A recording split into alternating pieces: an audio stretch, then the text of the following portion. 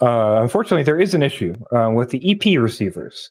Um, Uh-huh. Currently, it looks like it's only the Happymodel receivers, but it could be on any of them if they use a uh, underspec voltage regulator. So basically, um, it was discovered that if your EP receiver has the markings SDG on the beat Mhm. on the voltage regulator on it, it's actually underspec.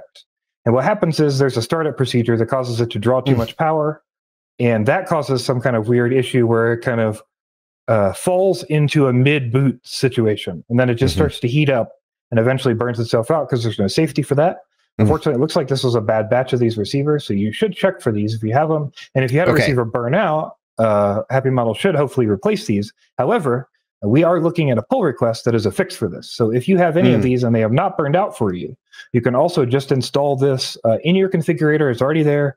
If you go check on the list, there's one specifically labeled uh, Mhm. for this power issue. Um, and you can flash that one and fix this without uh, having this problem. The other way to fix it is a couple reboots. If you continually reboot it, sometimes it will work normally because you skip that little section of it um, and Okay. it won't overdraw. Um, but I would recommend you either return or flash this uh, change.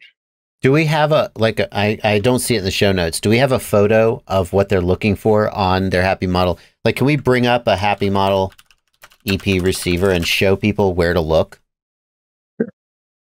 Like let's see if we can just get a good Is it on this side of the board, Blunty?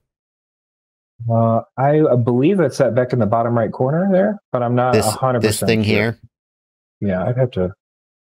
It'd be great if we could there. give people that info. Yeah, it doesn't look like there is a Beck on this side of the board. Uh Bry, Bry's in the chat. Maybe he'll tell us about that.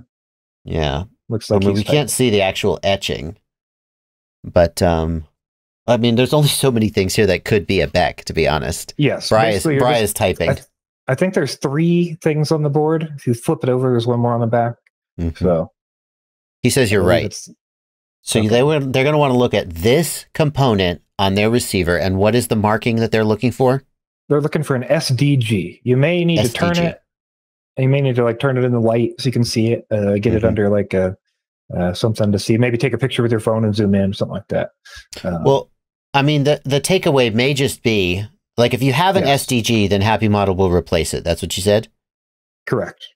Well, I'm not. I don't know, but at the bottom of this PR, it says, "Should I contact Happymodel?" It says, "Absolutely." yeah, and if you just flash this this uh fix, then it'll Yes. fix it.